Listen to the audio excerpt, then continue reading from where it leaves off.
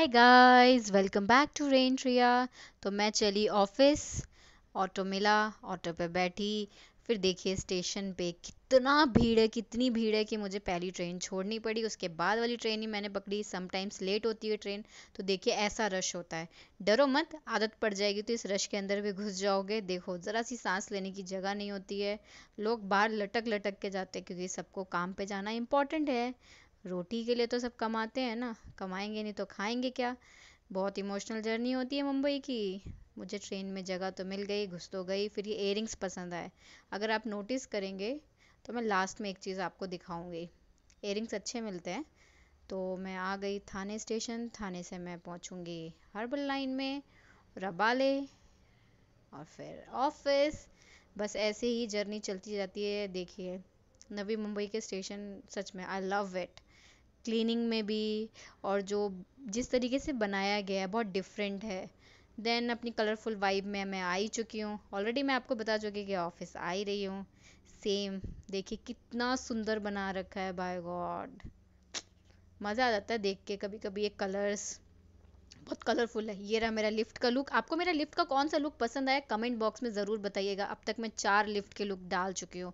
Office आ गई, फिर back to घर ट्रेन में बैठ गई। फिर धीरे धीरे छुक छुक छुक छुक रेल गाड़ी, छुक छुक छुक छुक रेल गाड़ी। अब चलती का नाम गाड़ी है, घर पहुँचेंगे, आराम करेंगे, फिर क्या? फिर वही दोबारा सेम जर्नी इसी का नाम है माया नगरी, यानी कि मुंबई। ठीक है, गाना सुना ना आपने? ये है मुंबई नगरिया तो देख बबुआ। तो बस, बबुआ लोग, देखो आप लोग, ये मुंबई नगरिया है। देखो बहुत ही अच्छा लाइक मैंने एडिट करते टाइम देखा, बहुत ही अच्छा व्यू था वो, जो इससे पहले गया। यहाँ मैं दिखा चुकी हूँ, ये लोग हमेशा ये लाइक फ्रेंडली हो चुका होगा अब तक आपके लिए। ऑटो में बैठ गई, वापस अब घर चली मैं। वापस तो हो चुकी हूँ बट अपने एरिया में तो आ ही चुकी हूँ। और देखिए, सुबह जिस रास्ते से उंजाले में जा रही थी ग्रीनरी से, अब अंधेरे में जा रही हूँ। और अभी आप एक चीज़ नोटिस करोगे, नहीं करा तो मैं बताती हूँ। जो मैंने एयरिंग्स चेंज कर लिए। सुबह मैंने कुछ और पहना था, शाम को कुछ और। जो मैंने मेरे हाथ में देखा था, ख़रीदा था, मैंने वही पहन लिया एयरिंग देखो फेस भी कितना टायर्ड लग रहा है। और बैग में आगे क्यों टांगती हूँ?